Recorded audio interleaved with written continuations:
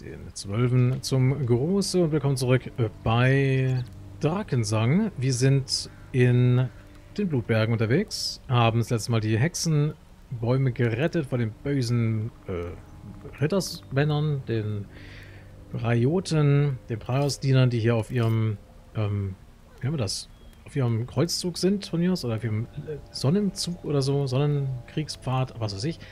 Und wir haben die gute Saphira gefunden. Und ein Labor. Jetzt möchte ich ganz kurz mal schauen, ob man, wenn man am Labor ist, auch andere Sachen zaubern kann. Aber offenbar ist es, um den Tisch rumzugehen, zu schwierig. Ah, jetzt geht's. Okay, kann man doch nicht. Waffenbalsam, genau das wollte ich nämlich machen. Ich dachte aber, das sei was zum Schmieden, aber es ist ja totaler Quatsch. Ähm, wir machen davon einfach mal ein paar. Wie viel denn? Vielleicht ja gut, für sie gilt das ja nicht. Das heißt, wir müssen hier mal drei rechnen. Machen wir einfach mal neun Stück, oder? Genau. Es wurden neunmal Waffenbalsam hergestellt. Kann ich dann an die Leute mal verteilen. Und dann reden wir mit der Guten. Aber zunächst nicht. Genau, Drachenblut haben wir auch gefunden. Richtig gutes Zeug. Äh, aufteilen. Schön dritteln. Aufteilen, halbieren. So, jetzt kriegt jeder mal eine Fuhre Kannst dann bei Bedarf auf die Waffe schmieren. Der hat schon eins. Genau. Na klar. Ich mach das schon. Waffenbalsam, das ist Heilsalbe. Hm. Ja, eigentlich... Wie seid die denn einbären im...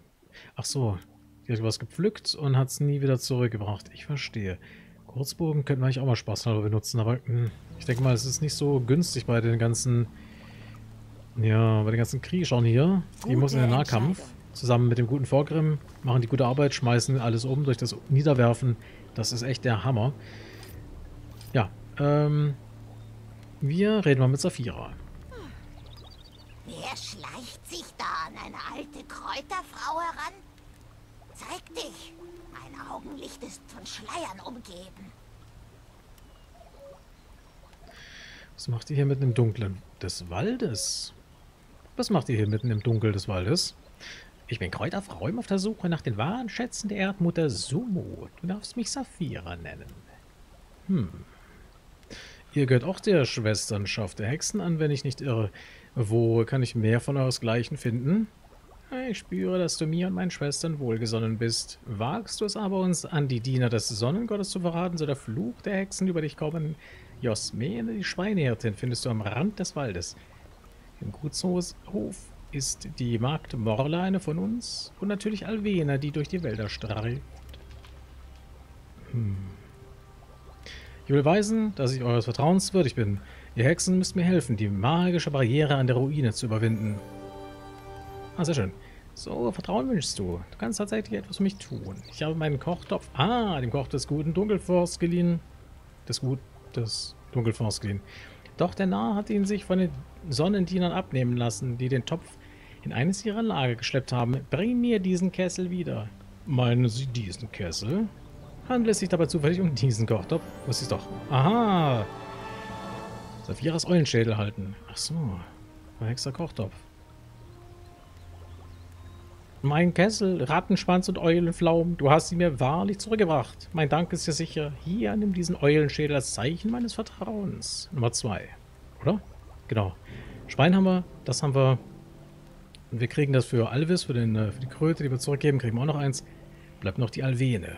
Die ist irgendwo im, äh, im Zentrum. Dann machen wir so einen Zickzack. Und dann finden wir das alle super. Was mit den Räubern ist, keine Ahnung. Die gammeln halt irgendwo im Nordwesten rum. Können wir uns ja mal angucken. So. Ähm. Ich habe noch eine andere Aufgabe, die du für mich erledigen könntest. Viel bieten kann ich dir nicht dafür, aber der ein oder andere Trank, dann machen wir's. Wird dabei sicher für dich herausspringen. Bist du bereit? Jetzt, ähm, das kommt drauf an. Erzähl mir erst, worum es überhaupt geht. Aber macht schnell, kommt drauf an.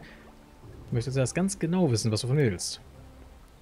Dieser Kessel hier ist einer meiner wertvollsten Besitze und ich hatte ihn dem Koch geborgt, in dem Vertrauen, ihn bald zurückzuhalten. Dieser Tor hat mein Vertrauen missbraucht und zugelassen, dass der Kessel in die Hände der Brajoten fiel.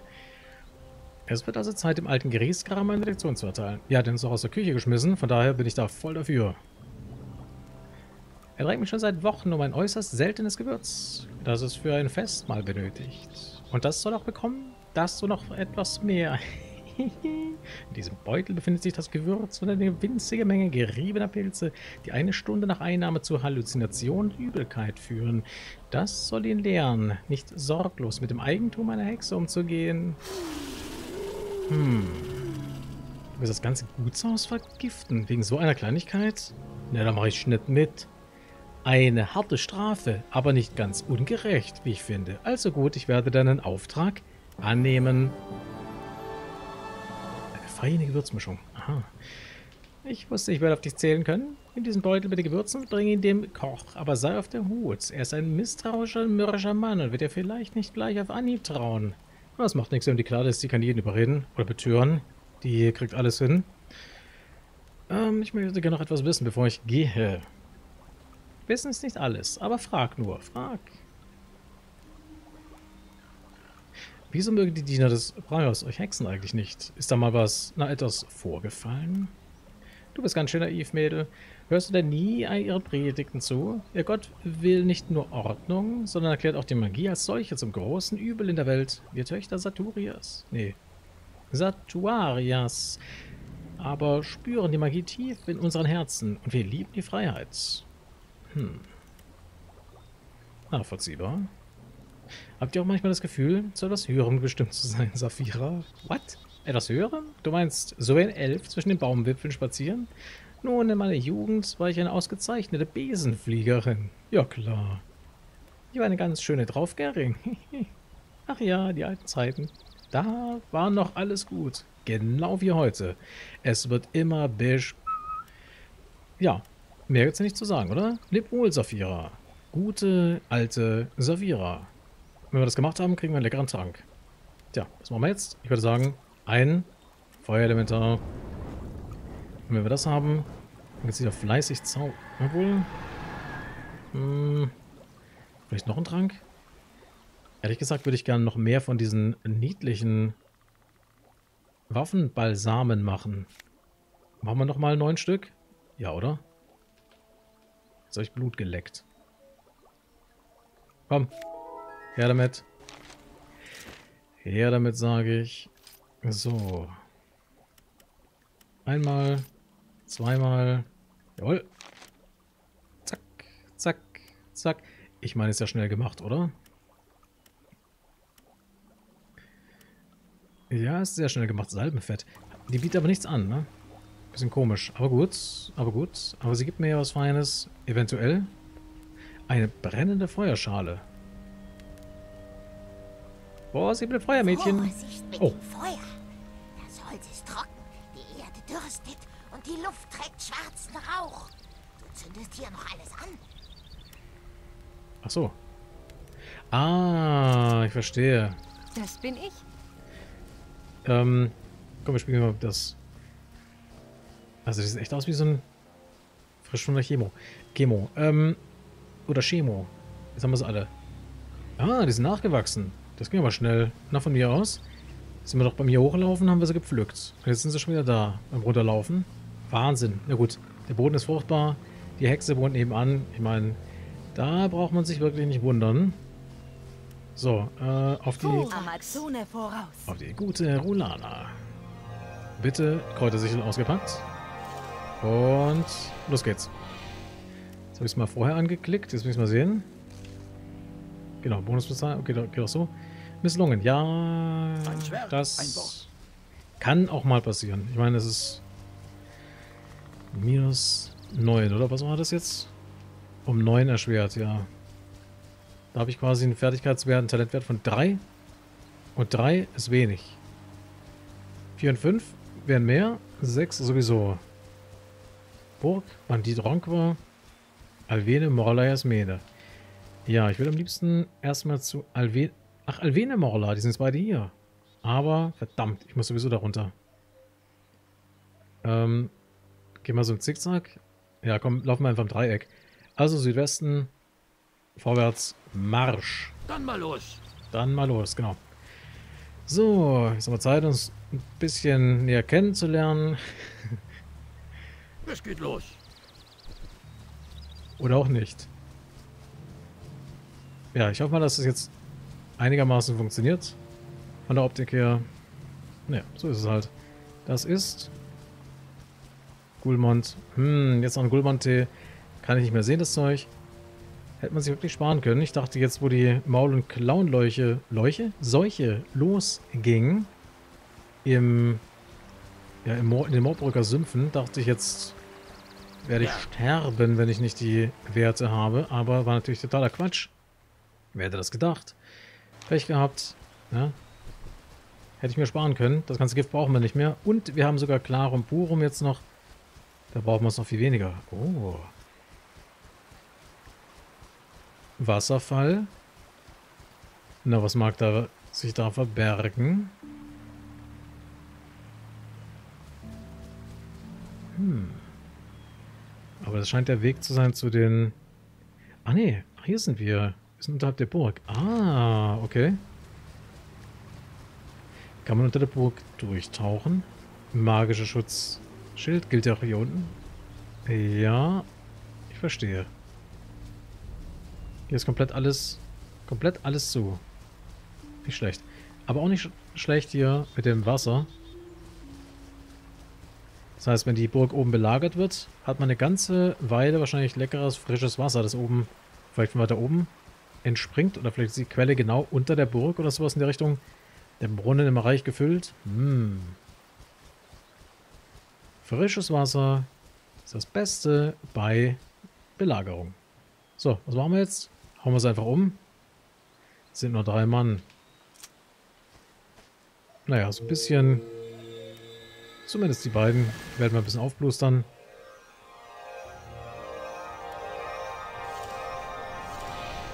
So. Lass das mal Vorgrimm machen. Okay. Vollgas. Immer feste drauf. Sind nur so ein paar Lappen hier. Haben nichts zu melden. Der kriegt es von allen eine Runde drauf. Und weg ist er. So, was machen wir jetzt? Du bitte den rechten und du den linken umschubsen. Na klar. Na klar. Boah, der hat gesessen. Hoffentlich schafft das, ihn umzuschubsen. Dann gibt hoffentlich der... Genau, der ist schon mal ausgeschaltet und der wird geheilt. Und zack, direkt wieder halb voll. Mehr als über zwei Drittel. Und regeneriert auch noch Lebensenergie. Ein Traum. Folgt mir, der so, was wird, was wird das sein? Wahrscheinlich Waffenbalsam im besten Fall. Wurfmesser. Kannst behalten. Kann man dich damit begraben. Perfekt. Und Wundpulver. Wenn es mal hart auf hart geht oder ein großer Kampf bevorsteht, einfach Wundpulver draufknallen. Hält 10 Minuten an. Übersteht somit jeden Kampf. Ah, Truhe verschlossen. Ich mach das schon. Das klingt nach Falle. Ah. Morla? Ach so, hier ist ihr gemeinsames Lager, schätze ich mal. Ich verstehe. Hm. Fingerfertigkeit. Gute Entscheidung. Ich hoffe mal, es funktioniert. Aber ja, eigentlich schon. Weil Zeug pflücken ist Fingerfertigkeit. Was soll es auch sonst sein? Körperkraft? Obwohl, der ist schon riesengroß, oder? Halt. Das machst du mal schön selber. Furax. Genau, die beiden sind hier. Da können wir bei Elvena Hallo sagen und Mauler ihren komischen Alvis zurückbringen. Und dann geht's auf zum, zum Koch. Ähm, mit Dietrichen selbstverständlich. Achso, die Falle muss ich so entschärfen. Geöffnet. Falle entschärfen. Da ist er nicht besonders gut drin. Falle entschärft. Sehr schön. Alvenes Tagebuch. Ach so, wahrscheinlich sollen wir das dann für die Prioten stehlen. Genauso wie bei ihr die, die Feuerstelle bei der Saphira oder Saphira, wie die hieß. Dass dann die ganze Geschichte hier so ein bisschen in Rauch aufgeht. So muss man dann wahrscheinlich die drei Hexen platt machen. Und was macht man den anderen? Weiß ich nicht. Alvis umle umlegen oder...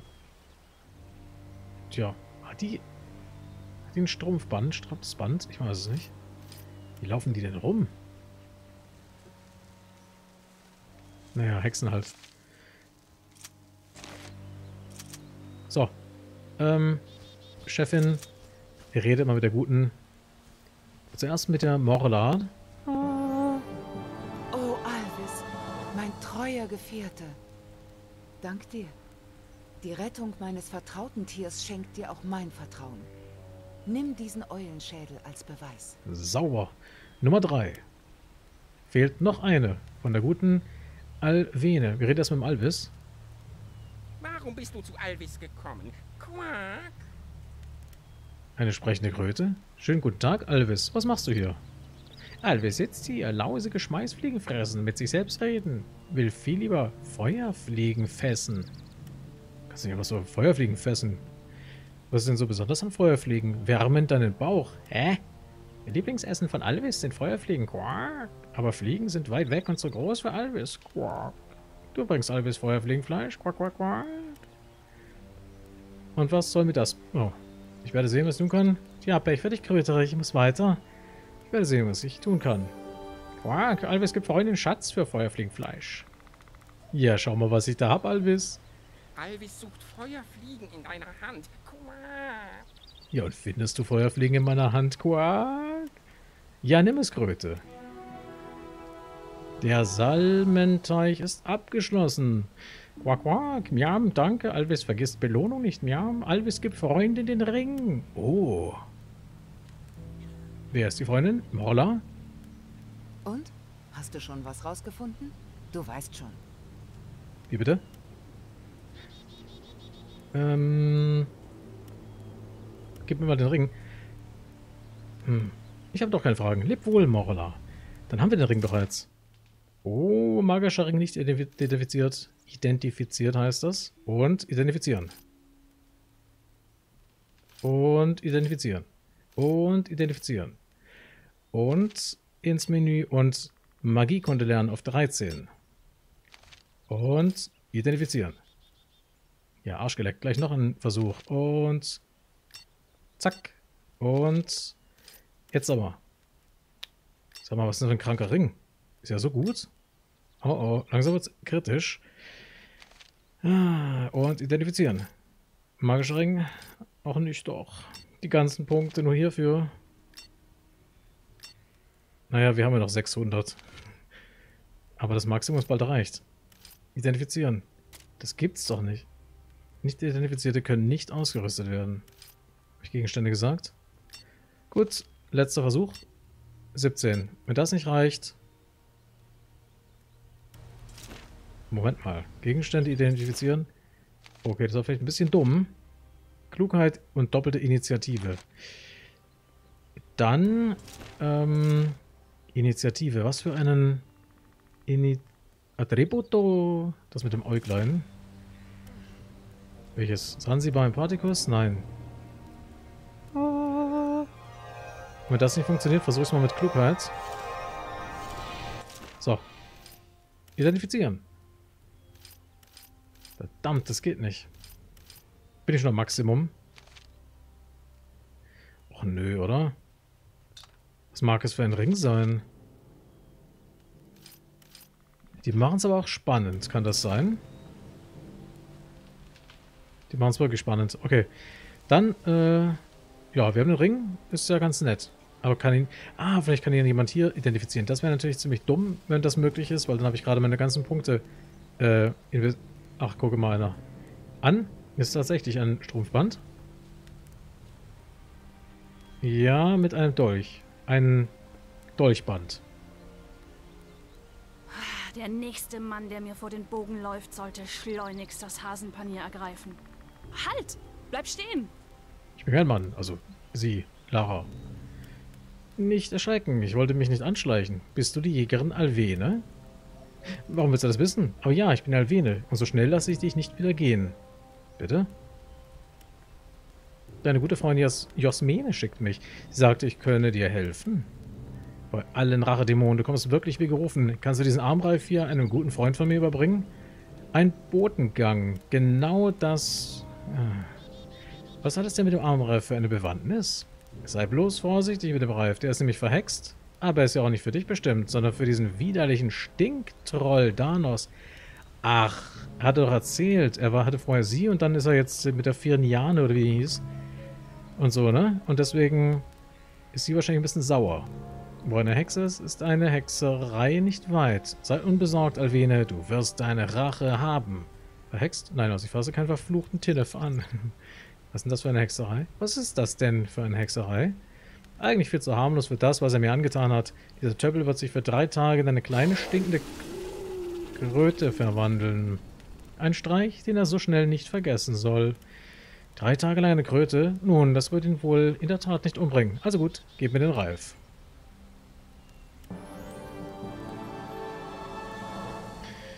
Also das Armreich verhalten. Dunkelweiß wurde aktualisiert. Ja, wunderbar. Wollt doch mal sehen, ob dieses Bauernding ihn immer noch küsst, wenn er nur noch Quack und Quock sagen kann. Hihihi, das wird ein Spaß. Wo kann ich Danos denn finden? Diese treulose Ratte lebt bei Gut Dunkelfonds. Bestimmt sitzt er nichtsnutz irgendwo auf einem Baumstumpf und träumt von den Liebkosungen dieses Strohböbchens Firniane. Genau. Also eile dich, damit, meine Genug, damit ich meine Genugtuung bekomme. Nanu. Morla ist verschwunden. Okay. Dann erstmal sauber machen. So, rostige Nägel kriegst du. Genau. Und sie bekommt Heilsalbe, Bärenfalle. Hm. Na klar. Na klar, Heilsalbe ist auch für sie. Hm, was machen wir denn jetzt? Erstmal zu Josmene und dann einmal... Das war der Plan. Genau, die ist ja gerade fünf Meter entfernt. Einmal... So, jetzt müssen wir im Viereck rumlatschen. Oh Mann. Ja, okay. Das mit den Laufwegen ist vielleicht dann doch, wenn man so eine ganze Weile gespielt hat, es fällt dann doch ein bisschen auf. Aber ist ja ganz schön. Nanu? Fünf Meter entfernt ist der Feind. Ah, nee, Holzfäller. Ah, stimmt, von denen haben wir auch schon gehört. Die von außerhalb kommen. Deswegen kennt Firniane die nicht so. Aber Firniane war, glaube ich, ein bisschen, äh, naja, Unschuld vom Lande nicht unbedingt. Eher ein bisschen, naja, ich finde keine Worte. Mann, wo bleibt Holweg so lange? Hoffentlich ist mir nichts passiert. Ich habe Hunger. Was sagt er? Holdwin, bist du das? Ja, Himmel, Ork und Wolkenbruch, komm her. Oh, verzeiht. Wir haben eigentlich jemand anderes erwartet. Ich sehe nicht aus wie ein Holzfäller, Junge. Einen Holdwin kenne ich nicht. Holdwin sollte unsere Brotzeit holen. Die hat dieser Holzkopf heute Morgen vergessen. Aber er ist noch nicht wieder zurück. Wenn der Bursche wieder auftaucht, kann er aber was erleben bei allen Höllenhunden. Vielleicht haben ihn ja die Prioten mitgenommen. Ja, verwunschen und verdammt. Meint ihr wirklich? Ich meine, Holdwin ist zwar ein Tugend nicht, er tut nicht gut. Aber das hätte er auch wieder nicht verdient. Könnt ihr dir vielleicht die Augen offen halten, ob, die, ob ihr ihn irgendwo seht? Gut, mache ich. Und fluche nicht so viel. Kein böses Wort kommt mir über meine Lippen. Breios verdammig. Viel Glück. Breios verdammig. Das ist ein schönes Wort. Ob ich mir das merken kann und in den Alltag einbauen. So, Holz war's. Ach ja, dass man hier nur Holz findet, ist eigentlich klar, oder? Ja. Nur ein regelrechter Holzkopf wird davon ausgehen, es sei was anderes zu finden. Süden, Westen, alles klar. Kommen wir da durch? Ein Bärchen. Stimmt. Normalerweise war das hier ein bisschen krasser, aber wenn man sich den anschließt, den... Ach. Auf einmal sind sie da. Ich verstehe. Dann muss es sein. Falsch. Richtig? Ich spare mir mal die Attributos. Und wir greifen direkt an. Ich versuche mein Bestes. So. Mir folgen. Und dann immer fester drauf. Auf Zum die beiden. Angriff. Halt. Für die Umschubsen. Königin. Für Rondra. Für Rondra. Genau. Du hilfst hier mal aus. Und du... Halt, das war nix. Ein Fulminictus Donnerkeil auf den anderen. Lass das mal Vorgrimm machen. So, Vorgrimm, schafft er das? Das könnte eng werden, oder? Oh, drei Punkte Schaden. So ein schlechter Witz. Zack. Rabenschnabel ins Gesicht. So. Komm, schubst in den Hund. Mal weg. Oh, ganz schön hartnäckig der Herr Kollege. Halt, das war nix. So rum. Gute Und du Entscheidung. hast dort was zu tun. Ah. So, umgefallen. Und jetzt ins Kreuz. Ah ja, Feuer wird's richten. Ein Zwerg, ein Wort. Genau. Ein Heller. Ein Zwerg, ein Wort, ein Heller. Ein Heller, ein Heller. Ähm, ja. Heller wird's nicht. Obwohl, naja. Äh, wir schauen mal nach Süden, dann nach Westen, haben wir gesagt. Ja, keine Wölfchen mehr. Die werden uns wahrscheinlich auch wohlgesonnen, mich mal ganz stark an. Ja, jetzt äh, heißt einfach nur von A nach B nach C laufen und zurück. Na gut. Ich denke mal, das schaffen wir auch noch. Ich werde jetzt ja nicht den Turbo reinhauen oder sowas. Das wäre irgendwo Quatsch. Fürstentum Gosch. Ja, wo ist sie denn? Ach, auf der Seite, am Fluss. Nun? Ja, wo ist sie? Ah. Oh, gar nicht gesehen. Das ist ja schick. Oder? Überhaupt mit dem ganzen Efeu und so weiter. Den schicken Steinchen. Texturen auch nicht schlecht. Also ich, mir gefällt das, muss ich ganz ehrlich sagen. Ein schönes Spiel. Guten Tag, Frau Schweine, Frau. Na, schon wieder zurück aus den Tiefen des Waldes? Ja, aber selbstverständlich. Also, diese Hexenbäume, naja. Oh, du Schwein. Wo finde ich sie? Die Hexenbäume sind sicher. Kein Sonnendiener wird sich mehr in ihrer Nähe, in ihrer Nähe wagen. Ich dachte schon. Wir werden nicht immer als Hexenfreund in Erinnerung gehalten. Nimm als Zeichen meines Dankes diesen Kriegshammer. Oh, den habe ich im Priotenlager mitgehen lassen. Schaut ziemlich teuer aus, das Ding. Sag mal, wofür braucht die Hexen eigentlich meine Hilfe? Scheint ja alleine auch ganz gut zurechtzukommen, wenn du unbemerkt im Lager der Prioten Dinge klauen kannst. Jetzt werd mal nicht frech. Immerhin habe ich das Ding für dich mitgehen lassen. Und natürlich können wir Hexen auch ganz gut auf uns allein aufpassen. Aber manchmal kommt man mit List und Tücke alleine nicht weiter. Da braucht es einfach jemanden fürs Grobe. Jemand wie dich. Und bisher scheinst du dich ja auch ganz gut zu halten. Wir sprachen noch vorhin über... Gab es noch nicht noch etwas, was wir... Genau, was hat's mit dem... Der Fluch, was? Sag mal, sag, sag mal, dieser Fluch, was hat es mit dem eigentlich auf sich? Fluch? Welcher Fluch? Habe ich irgendetwas von dem Fluch gesagt? Du wolltest den Messwein für einen Fluch haben. Ach, der Fluch. Da habe ich wohl ein bisschen ein wenig geflunkert. Ich hatte nie vor, die Prioten zu verfluchen. Und selbst wenn, dann hätte ich ein Haar von diesem Davanya gebraucht, um ihm ein paar Warzen zu verpassen. Ich wollte einfach den Wein haben. Ich habe mal gehört, dass die Prioten nur die edelsten Aventurstropfen als Messwein verwenden. Und weißt du was? Das stimmt. Bei Satuaria, so einen guten Tropfen habe ich schon lange nicht mehr getrunken. Ah. Ich riskiere Leid mit Leben, damit du dich betrinken kannst. Hm, das hättest du doch auch gleich sagen können. Ach, vergiss es, ich würde dir gerne was machen. Und dann hättest du dich dann etwa geweigert, einen ganzen Haufen gottesfürchtiger Soldaten den Launen einer Hexe ausliefern, ist in Ordnung. Aber einer armen Säuferin dazu zu helfen, mal einen edlen Tropfen zu trinken, nicht? Was bist du denn für einer? Wieso denn ein Herr? Ach, vergiss es. Ich würde gerne was anderes wissen. Ja? Wieso hättest du die Schweine? Was? Wieso hütest du Schweine, wenn du eine zaubermächtige Hexe bist? Das kennen wir schon. Genau, gutes Auskommen. Ja, das war's. Hm, jetzt. Das hätten wir also auch. So, Spaß mit deinen Schweinen. Wir müssen zum Burschen am Lager vorbei. Oh Mann. Sollen wir mal ganz frech am Lager vorbeilatschen? Eigentlich schon, oder? Tja, das kann jetzt eine Weile dauern. Hm, hm, hm. Schön hinter mir bleiben. Ja, Dann schön, wenn los. wir... Laufen einfach mal ganz frech am Lager vorbei und schauen mal, was passiert. Kriegen wir eine gelangt? Ich weiß es nicht. Jetzt müssen wir erstmal den Armreif dem guten Burschen, dem Burschen Danos verpassen. Eigentlich sollten wir es ja nicht tun, oder? Es geht los. Ist auch ein bisschen lächerlich, oder? Dann mal los. Hat er sich jetzt halt ein Bauernweib geschnappt? Ja, Folgt mein ihr Gott. mir? Dann geht die Welt auch nicht unter. Huch. Auf geht's! Achso, du machst dein eigenes Ding. Lass Okay. das mal vor Grimm machen. Genau. Lass das mal vorgrimm machen. Hm. Vielleicht vorher mal speichern, oder? Bevor die... Halt, dann äh, möchte ich mich aber doch mal aufplustern. Lach doch nicht immer. Gibt's nichts zu lachen. Das ist eine ernste Angelegenheit. So, erstmal...